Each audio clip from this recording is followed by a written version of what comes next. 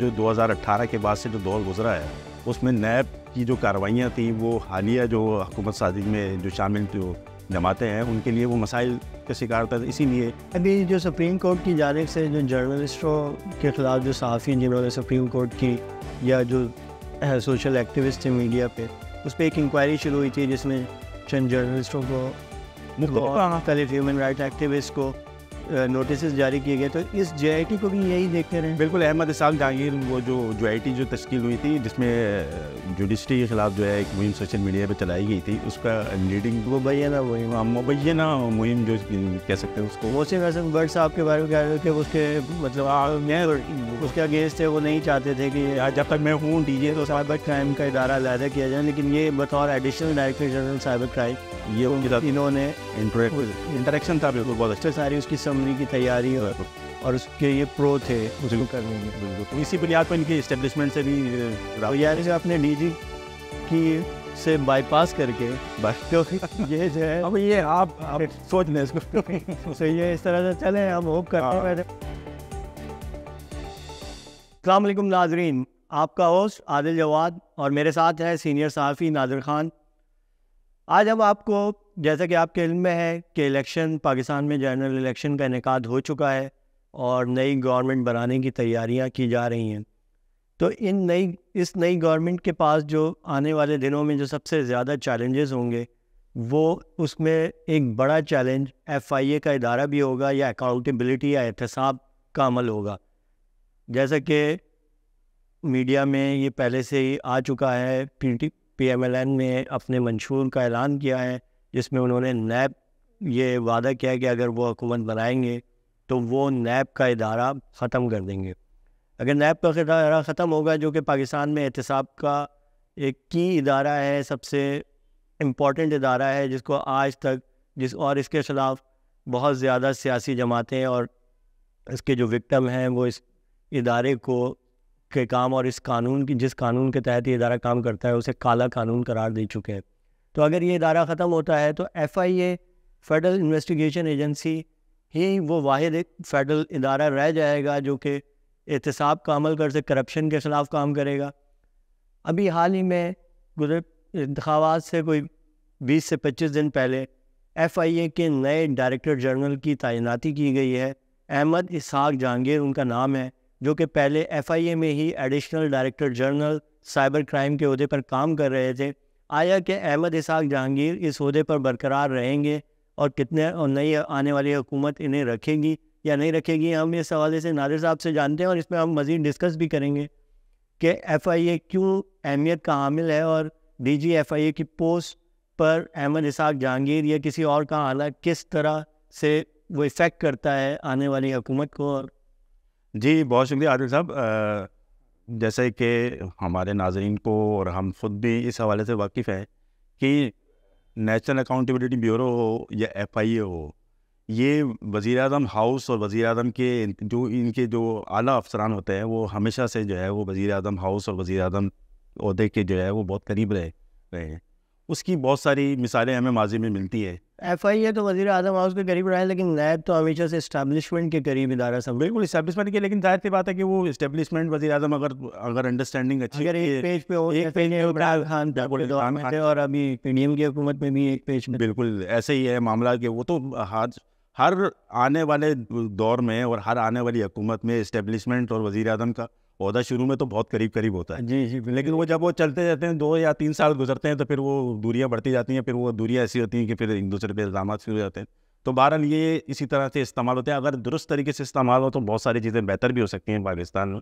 लेकिन बहरहाल इस वक्त जो पोजीशन है उसमें एफ़ आई ए की लीडिंग ज़्यादा बेहतर है नैब के मुकाबले में क्योंकि जो एक गुज्तर जो 2018 के बाद से जो दौर गुजरा है उसमें नैब की जो कार्रवाइयाँ थी वो हालिया जो हुकूमत साजिश में जो शामिल जो जमाते हैं उनके लिए वो मसाइल का शिकार था। इसीलिए इस पी एम एल एन की जो मुमकिन तौर पर समझ में आ रहा है कि मतलब जो हुकूमत बनाने के लिए पी हाँ तो उसमें ज़्यादा इम्कान यही है कि नैब को या तो इदारे को ख़त्म होगा या फिर उसकी और पावर्स जो हैं वो कम हो जाएँगी।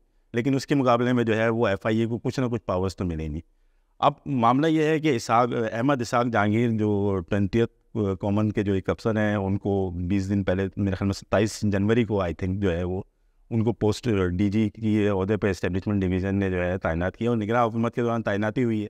लेकिन बहरहाल इनकी क्रेडिबिलिटी के हवाले से जो एफ़ आई ए के अफसरान के अंदर जो बातचीत है तो उसमें उनके हवाले से ये है कि वो बेहतर है और उनके रबते इस्टेब्लिशमेंट भी बेहतर हैं और मुख्तलिफ़ सियासी जमातों से भी जो है वो उनकी अच्छी अंडरस्टैंडिंग है। और एक जो एडमिनिस्ट्रेशन के लेवल के अफसरान हैं जो बेहतर अंदाज में चला सकते हैं मसल वो हर मामले को आगे लेके चल भी सकते हैं एफ़ आई ए की हद तक भी और सियासी जमातों और इस्टेब्लिशमेंट के दरमियान। ये अभी जो सुप्रीम कोर्ट की जानब से जो जर्नलिस्टों के खिलाफ जो सहाफ़ी जिन्होंने सुप्रीम कोर्ट की या जो सोशल एक्टिविस्ट हैं मीडिया पे उस पर एक इंक्वायरी शुरू हुई थी जिसमें चंद जर्नलिस्टों को मुख्तलिफ़ मुख्तलिफ़ ह्यूमन राइट एक्टिविस्ट को नोटिस जारी किए गए तो इस जे को भी यही देखते रहे। बिल्कुल अहमद इसाक जहांगीर वो जो जो जो तश्कील हुई थी जिसमें जुडिशरी के खिलाफ जो है एक मुहिम सोशल मीडिया पे चलाई गई थी उसका लीडिंग मुबैना मुहिम हाँ, मुबैना मुहिम जो कह सकते हैं उसको और उसके ऊपर। लेकिन उसमें बहुत सारे मतलब सहाफ़ियों के और सोशल मीडिया एक्टिविटीज़ के साथ आम आम लोग भी जो है उसमें वो थे जिनको वो वज़न इस हो गए थे और अभी चल रही है इंक्वायरी ये नहीं, लेकिन ये मुमकिन आप देखें कि वो कहाँ तक पहुँच। लेकिन ये तो फिर यस मैन हुए ना राजा साहब लोग तो ये आप कह रहे हैं कि ये बेहतर अवसर होंगे, मुझे तो लगता ये तो यस मैन हुए तो ये अब जमहूरी हुकूमत क्योंकि अभी तक तो निगरा हुकूमत ज़ाहिर है, उस पर वो जो है इस्टेबलिशमेंट का ज़ाहिर दबाव भी ज़्यादा होता है और वो उसी की मर्ज़ी से काम करती है। लेकिन अब जब एक जमहूरी हुकूमत आएगी और जिसमें दो मुल्क की मेजर पार्टीज़ उसमें इतिहादी होंगी तो क्या है, अहमद इसाक जहांगीर साहब उसी तरह इस्टेबलिशमेंट को या जो भी दीगर इदारे हैं उनको परफॉर्म कर सकेंगे? तो आप पाकिस्तान में क्राइटेरिया क्या समझते हैं? मसद जो आला अफसरान की जो कैपेबिलिटी जो एक अहलियत है तो उसकी अहलियत को आप क्या समझते हैं? मतलब जो अहलियत ये है कि जो आग दिखाएगा, ज़ाहिर सी बात है वो क्या पोस्टिंग पे हो सकता है। लेकिन अंडरस्टैंडिंग से मुराद मेरी यही है कि आप जो भी काम हो रहा है मतलब जो कानून के दायरे में जितना मुमकिन हद तक वो उसको कोशिश करेंगे लेकिन बहरहाल जो ऑर्डर होता है उसको ओबे करना जागीर साहब के बारे में बताइए कि कौन से कॉमन के अफसर हैं और क्या इनका अभी ग्रेड इक्कीस में है ये? ये ग्रेड इक्कीस के अफसर हैं ट्वेंटी कॉमन के ये अफसर हैं और बीसवें कॉमन के हैं। बीसवें कॉमन के और 2018 में ये डीआईजी ट्रैफ़िक कराची में पोस्टिंग अच्छा, कराची में हाँ, जब ये इमाम कलीम इमाम साहब जो है आई जी सिंह आई जी सिंह रहे थे उस दौरान में सरगोदा में भी आरपीओ ये आरपीओ और सरगोदा भी रहे हैं और D D I G R N D Punjab police में अच्छा। और पंजाब पुलिस में जो इंफॉर्मेशन टेक्नोलॉजी के हवाले से जो असलाहत की कमेटी बनी थी अच्छा। उसके भी ये मेंबर मेंबर रहे हैं और साथ में फिर ये काफ़ी दो साल से डेढ़ साल मेरा भी गुजशत दो महीने से तो एफ़ आई ए जब से ये सारा सिलसिला शुरू हुआ है इंतबात अनाउंस हुए हैं इसकी वजह से तो एफ़ आई ए की कार्रवाइयाँ कुछ थोड़े से तातुल का ही शिकार हैं थोड़ा सा वो उसमें दो दो मसाइल थे। एक मसला था ये था कि जब इकतीस दिसंबर 2023 को मोहसिन हसन भट्ट जो सबका डी जी है उनकी रिटायरमेंट मुद्दत मुलाजमत पूरी हुई थी तो उस दौरान में इस्टेब्लिशमेंट की तरफ़ से ये कोशिश की गई थी मतलब जो निगरा हुकूमत की तरफ़ से भी कोशिश की गई थी कि इनकी एक्सटेंशन हो जाए और कुछ दो या तीन महीने या चार महीने के लिए एक्सटेंशन मिल जाए उनको कि नए डीजी की जो पोस्टिंग हो वो आने वाली हुकूमत ही कर सके। लेकिन इलेक्शन कमीशन ऑफ़ पाकिस्तान को जो दरख्वास्त गई थी वो पंद्रह से बीस दिन के बाद वो रिजेक्ट हो गई थी और उन्होंने मोहसिन हसन भट्ट की एक्सटेंशन नहीं दी थी। जिसकी बुनियाद पर ए डी जी एक हैं यावर आई थिंक मुझे नाम उनका कन्फर्म नहीं आ रहा तो उनको चार्ज दिया। गया था।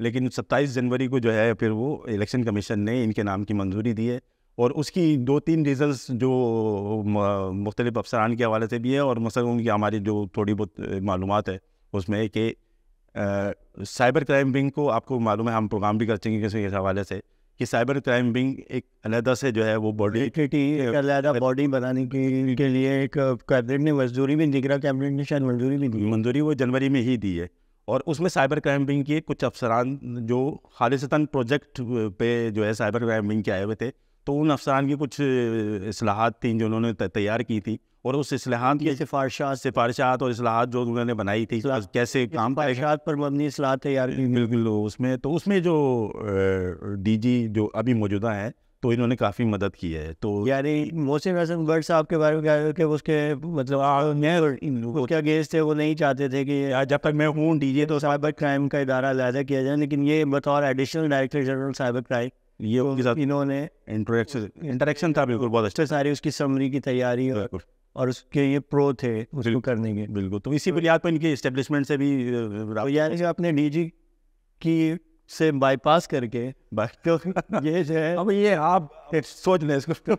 तो ये इस तरह से चले हम होप करते हैं। मुझे मेरी अपनी ज़ाती राय है कि शायद आने वाली हुकूमत सबसे पहले उनका जो क्योंकि पीपल्स पार्टी इससे माजी में 2008 में जब यूसुफ रजा गिलानी साहब पहली बार वज़ीर वज़ीर अजम बने पहली बार क्या एक ही बार बने। जी।